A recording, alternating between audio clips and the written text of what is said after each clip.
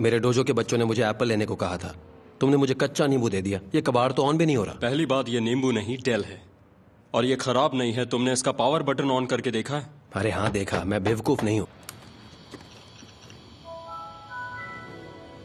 क्या तुमने ज़िंदगी में कभी कंप्यूटर इस्तेमाल नहीं किया है? नहीं।